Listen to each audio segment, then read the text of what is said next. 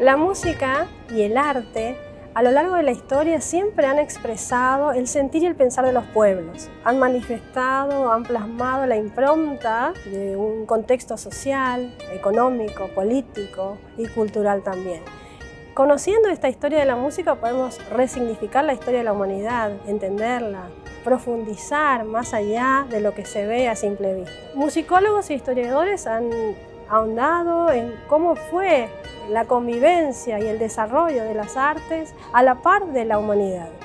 Y basados en registros eh, artísticos, no había grabaciones por supuesto, entonces en registros de cuadros, de, de dibujos, descubrimientos arqueológicos, fueron armando una teoría de cómo fue esta convivencia y esta historia.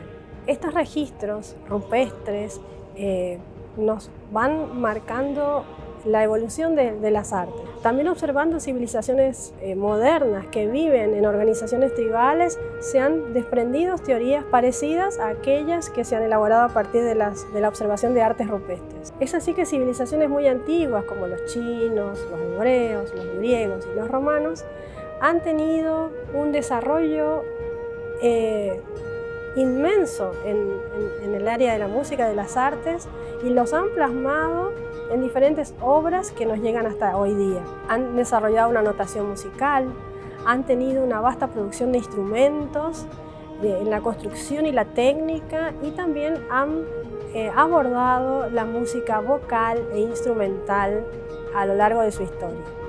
En esta época primitiva y en esta edad antigua que se llama, la música siempre ha estado ligada a la religión, a las prácticas místicas, ¿sí? Y, se ha manifestado siempre de la mano de la danza y con una fuerte impronta de percusión y canto. Recién hacia el año 200 a.C.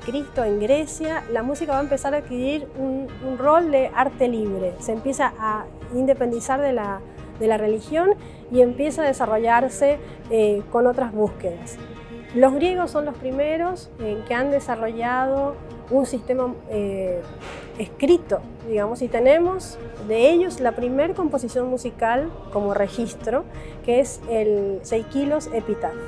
Es el primer registro de música compuesta, eh, nos viene desde ahí. Y desde Grecia es que nos llega la herencia a todo Occidente de su sistema musical. La cultura griega, el arte era un eje importante en la educación integral de la persona.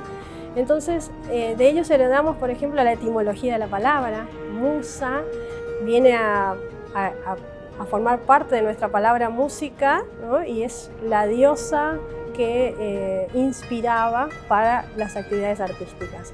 Entonces, desde allí es que eh, heredamos un montón de elementos que van a plasmarse en luego el gran desarrollo de la música occidental.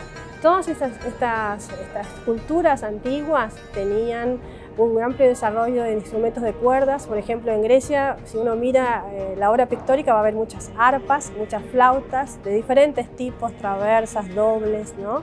En la antigua China también hay una cantidad de instrumentos de cuerdas frotadas. Eh, y de percusión variados y de alta complejidad, digamos, de construcción, un detalle de construcción muy importante. Así que la música eh, ha evolucionado, decimos, pero cuando hablamos de evolución en el arte estamos diciendo que ha acompañado los gustos de las épocas, ha acompañado la impronta que se quería plasmar a partir de esa preferencia o ese gusto que van cambiando con eh, las personas.